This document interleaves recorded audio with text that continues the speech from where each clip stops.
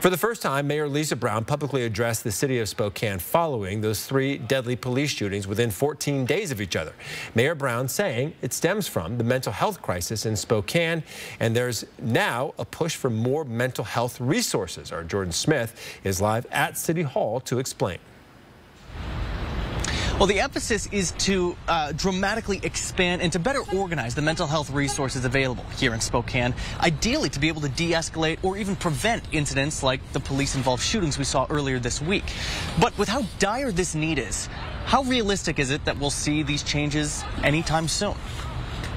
We all want things to be better than they have been in recent times.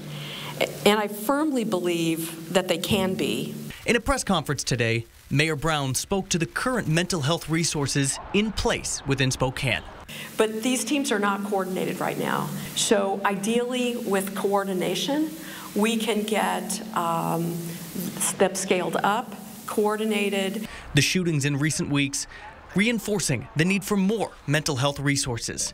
Justin de Ruyter with Spokane Fire says mental health assets are a crucial part of their team, particularly in response to suicide, overdose, and unknown calls. That unit's running a lot. They're running, you know, 10 to 12 calls a day.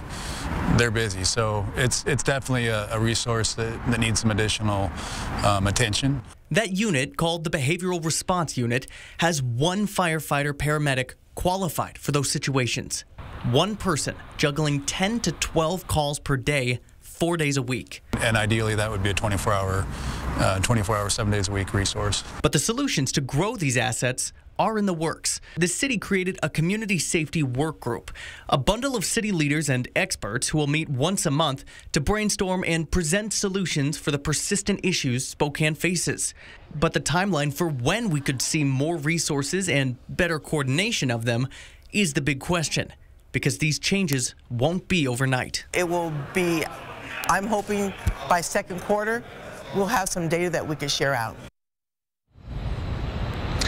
And implementing these mental health resources was a major part of Mayor Brown's campaign.